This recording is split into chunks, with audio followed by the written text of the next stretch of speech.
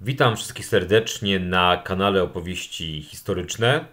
E, Ja nazywam się Radosław Doliński i dzisiaj w ramach cyklu Historia i teraźniejszość chciałbym Wam opowiedzieć o e, kulisach historycznych pewnego wydarzenia, które nastąpi w sobotę 12 listopada 2022 roku. E, Otóż tego dnia prezydenci powrócą do Polski, a dokładniej w mauzoleum Świątyni Opatrzności Bożej w Warszawie zostaną uroczyście pogrzebane szczątki trzech prezydentów Polski na obczyźnie.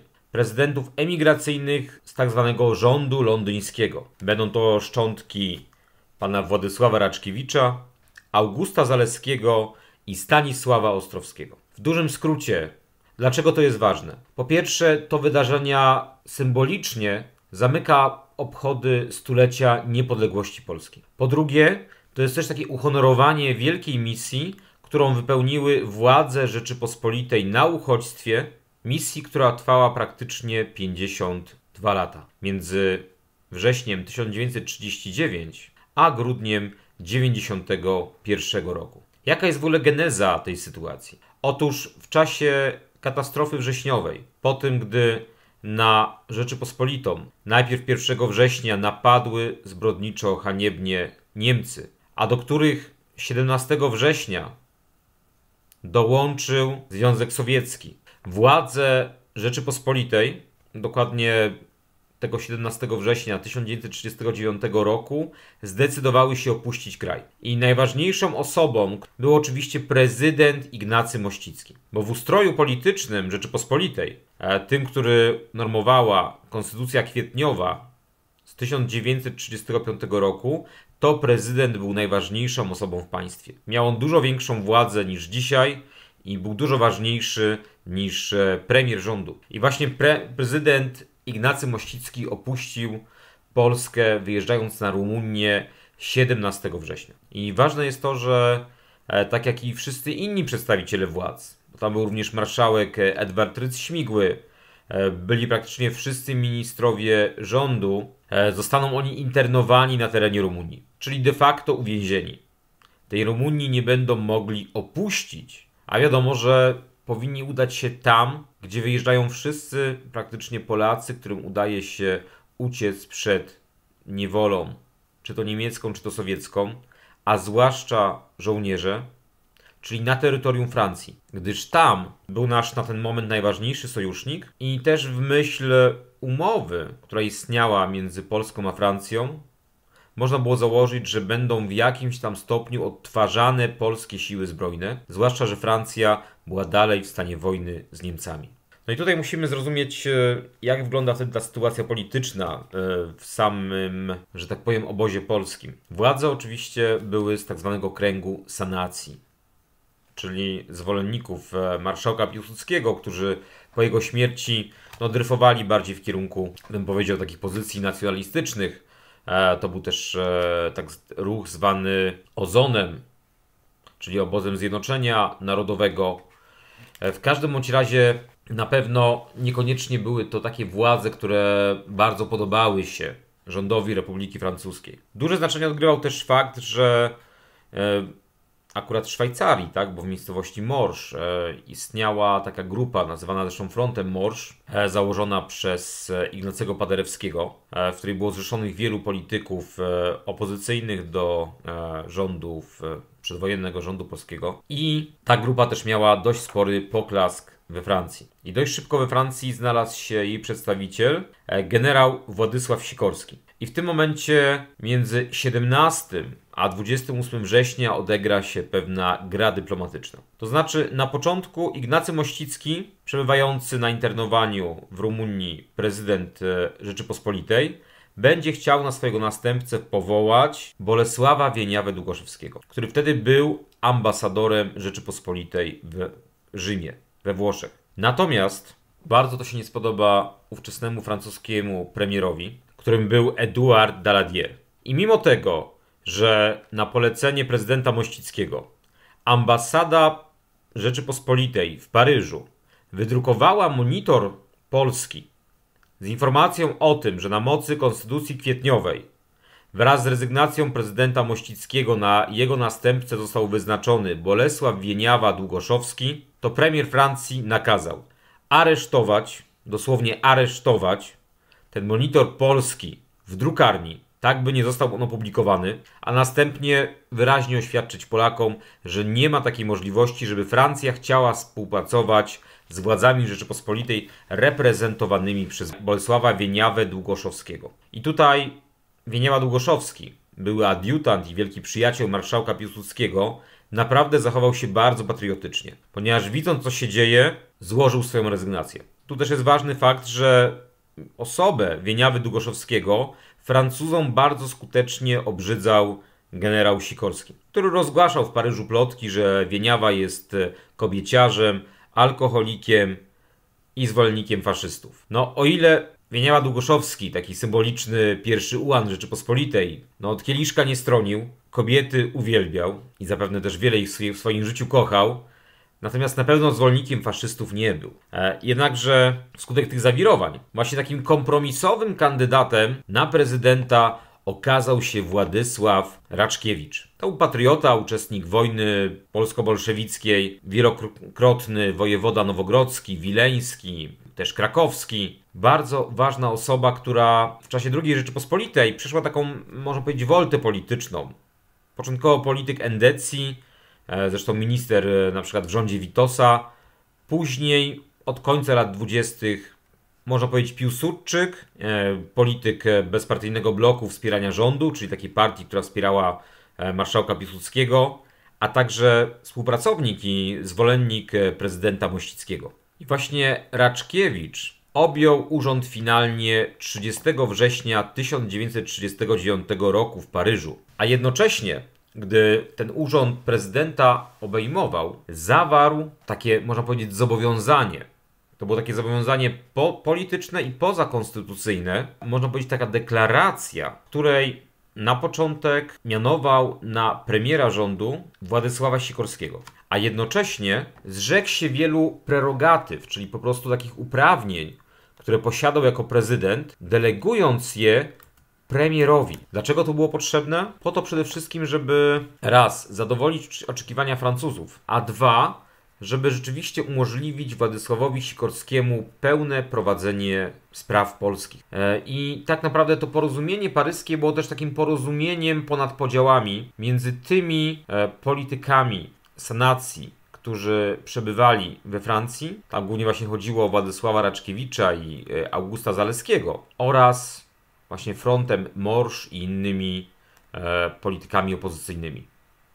I sam rząd, który utworzył Sikorski, był taką, można powiedzieć, równowagą między frontem Morsz a przedstawicielami sanacji. Bo jednocześnie w tym rządzie przecież e, byli tacy opozycjoniści jak Józef Haller, Marian Sejda czy Jan Stańczyk, ale również Jak Adam Koc i August Zaleski. I w ogóle to jest też piękne, że mimo różnic, mimo wielu lat rywalizacji, jednak byli w stanie ze sobą współpracować. Ale jednocześnie pamiętajmy, że ta współpraca nie była taka zupełnie bezkonfliktowa. Już w kolejnym roku, w 40 roku dojdzie do wielkiej takiej ciężkiej próby, ponieważ po tym, gdy w czerwcu 40 roku Francja przegrywa e, wojnę z Niemcami, Notabene tam te utworzone właśnie pod e, auspicjami polskiego rządu na uchodźstwie oddziały polskie świetnie walczą. Chyba jako jeden z nielicznych oddziałów wtedy nie ustępują pola Niemcom, tylko rzeczywiście bronią się często do e, ostatniego żołnierza, czy e, do momentu, w którym po prostu muszą e, schronić się za granicą szwajcarską przed e, atakiem niemieckim. No w każdym bądź razie rząd i prezydent muszą opuścić Paryż, który za chwilę zostanie zajęty przez Niemców i przenoszą się do Anglii. I wtedy dojdzie do dużych e, kłótni. Prezydent Raczkiewicz będzie chciał odwołać premiera Sikorskiego. Na szczęście uda się tę sprawę uspokoić. Natomiast takim dużym rozłamem i tutaj trzeba wyraźnie powiedzieć, że prezydent Raczkiewicz był przeciwny układowi Sikorski-Majski, czyli temu układowi ze Związkiem Sowieckim. No i w pewnym sensie dobrze przewidział przyszłość, że Sowieci na pewno nas zdradzą i na pewno nie będą, no po prostu po polskiej stronie. I rzeczywiście 30 lipca 1941 roku prezydent Raczkiewicz zagroził ustąpieniem z urzędu. Jednakże jego pozycja była zbyt słaba i został przez Brytyjczyków przymuszony do pozostania na swoim stanowisku. Tak samo zresztą musiał już ustępować pod presją Brytyjczyków aż do końca swoich rządów. Na przykład w 1944 roku był zmuszony odwołać ze stanowiska naczelnego wodza generała Kazimierza Sąskowskiego, ponieważ ten dosadnie komentował brak pomocy aliantów dla wtedy już upadającego powstania warszawskiego. Zresztą Władysław Reczkiewicz nie potrafił też się dogadać ze Stanisławem Mikołajczykiem, czyli tym, który zastąpił generała Sikorskiego na stanowisku premiera rządu londyńskiego po katastrofie gibraltarskiej z lipca 1943. Ale na pewno Władysław Raczkiewicz, mimo tej e, no, wymuszonej uległości wobec e, Brytyjczyków, godnie reprezentował państwo polskie i Rzeczypospolitą. Bardzo też e, godne było jego wystąpienie już w 1945 roku. Wtedy, gdy było wiadomo, że alianci zamierzają uznać utworzony przez komunistów rząd w Warszawie, do którego za chwilę zostaną dokoptowani politycy m.in. PSL-u reprezentowanego przez e, Stanisława Mikołajczyka, który na tym rządzie, tak zwanym tymczasowym rządzie jedności narodowej w Warszawie zostanie wicepremierem. I pod koniec czerwca 1945 roku Raczkiewicz wydał apel do narodu, w którym powiedział: Rząd polski nie może się zgodzić na narzucenie w Polsce ustroju obcego podstawowym pojęciom wolności, porządku prawnego i moralnym tradycjom narodu polskiego. Prawny rząd Rzeczypospolitej Polskiej nie może uznać takiego narzuconego rozwiązania. Prezydent Rzeczpospolitej i rząd są mandatariuszami woli narodu aż do czasu, gdy odbędą się w Polsce wolne i uczciwe wybory. I to co ważne, to ten apel a jednocześnie w pewnym sensie taki testament polityczny Władysława Raczkiewicza został utrzymany. Tuż przed śmiercią Raczkiewicz mianował swoim następcą Augusta Zaleskiego, który objął stanowisko prezydenta w czerwcu 1947 roku po śmierci Raczkiewicza. Zaleski pozostawał prezydentem rządu na uchodźstwie aż do swojej śmierci w 1972 roku. A właśnie po jego śmierci Prezydentem został Stanisław Ostrowski, który stanowił, zajmował stanowisko prezydenta przez lat 7 aż do kwietnia 1979 roku, kiedy przekazał urząd swojemu następcy Edwardowi Raczyńskiemu. Po Edwardzie Raczyńskim prezydentem był Kazimierz Sabat. I tutaj ciekawostka, bo Kazimierz Sabat teoretycznie doczekał pierwszych wydawałoby się wolnych wyborów. Tych, które odbyły się 4 czerwca 1989 roku. Natomiast Kazimierz Sabat był zobowiązany testamentem Władysława Raczkiewicza. I nie uznał tych nieprawdziwych, tak naprawdę, bo to nie były prawdziwe wolne wybory, i kontynuował dalej misję rządu londyńskiego. Zresztą to jest bardzo symboliczne, bo Kazimierz Sabat, można powiedzieć, doznał ataku serca praktycznie zaraz po tym, gdy dowiedział się, że prezydentem Polski ma zostać komunistyczny zbrodniarz Wojciech Jaruzelski. Zaś po Kazimierzu Sabacie, ostatnim prezydentem Rzeczypospolitej na uchodźstwie, został Ryszard Kaczorowski, który po pierwszych wolnych prezydenckich wyborach, które odbyły się w 1990 roku, zdecydował się zakończyć swoją misję i 22 grudnia 1990 złożył swój urząd na ręce nowo wybranego w pierwszych prawdziwie wolnych wyborach prezydenta Rzeczpospolitej Lecha Wałęsy. I wtedy odbyła się piękna uroczystość, w ramach której na Zamku Królewskim w Warszawie Ryszard Kaczorowski uroczyście przekazał insygnia władzy państwowej II Rzeczypospolitej Polskiej. Natomiast, ponieważ pierwsze tak prawdziwie wolne wybory parlamentarne odbyły się już dopiero w 1991 roku, to część instytucji emigracyjnych jeszcze kontynuowało swoją e, misję przez kilka miesięcy 1991 roku, w końcu finalnie przekazując wszystko do już demokratycznych władz Rzeczypospolitej Polskiej. W pewnym sensie takim uhonorowaniem tej wielkiej misji jest właśnie uroczystość, która odbędzie się 12 listopada 2022 roku. Można by zapytać, czemu tylko trzech prezydentów? No z bardzo prostych powodów. Zarówno prezydent Raczyński, jak i prezydent Sabat e, mają rodziny żyjące w Wielkiej Brytanii. E, te rodziny nie zgodziły się na ekshumację i ponowny pochówek e, na terenie Rzeczypospolitej. Natomiast być może nastąpi to w przyszłości. Zaś prezydent Kaczorowski, jak wiedzą wszyscy zainteresowani, zginął nad Smoleńskiem 10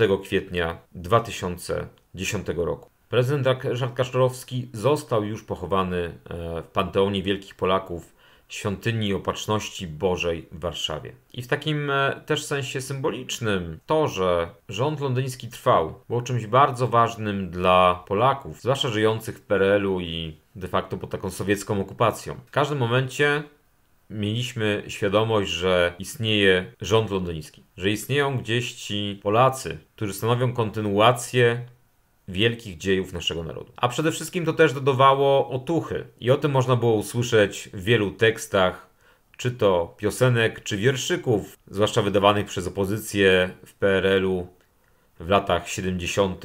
i 80. Tak na zakończenie, taką puentą e, chciałbym Państwu przedstawić taki jeden wierszyk. Jest to taki, można powiedzieć, wierszyk bardzo popularny, zwłaszcza w środowisku Konfederacji Polski Niepodległej w latach 80. Z góry przepraszam, że lekko niecenzuralny. A kiedyś powróci prezydent z Londynu, a Polska stanie wolna od tych skór i już nie zakończę. Ale tego wszystkim życzę, żeby ten symboliczny powrót prezydentów w jakiś stopniu dopełnił uwolnienie się naszego kraju od tej czerwonej zarazy, różnych kremlowskich namiestników i innych, że tak powiem, upiorów komunistycznej szafy, które co jakiś czas wyłażą i próbują odzyskać miejsce w przestrzeni publicznej. Bardzo dziękuję. Zapraszam do obejrzenia, bo pewnie będą transmitowane obchodów w niedzielę 12 listopada.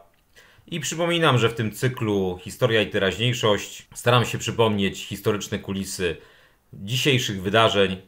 Jeżeli mają Państwo jakiś temat, który Was interesuje, można do mnie napisać na Facebooku albo w komentarzu pod filmem. A wszystkich zapraszam do subskrypcji kanału, polubienia filmu i oglądania in, i słuchania innych opowieści historycznych. Do zobaczenia!